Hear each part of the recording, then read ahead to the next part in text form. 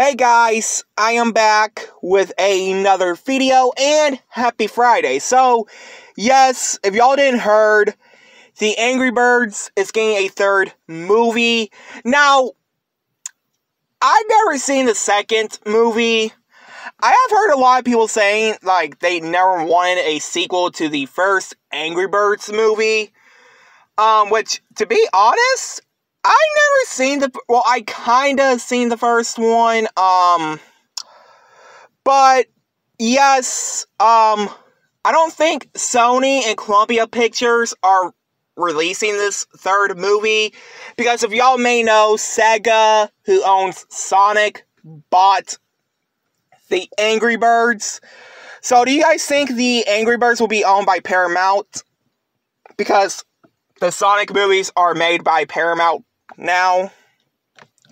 Like the Paramount company released the Sonic movies in theaters. So are they going to do the same thing with um the third Angry Birds movie? Let me know down comments below and I hope you guys like, comment, subscribe.